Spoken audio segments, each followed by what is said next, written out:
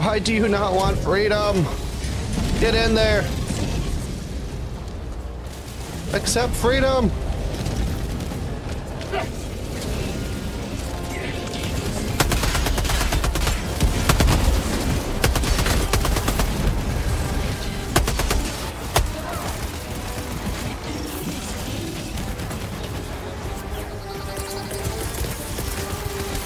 Freedom for everyone.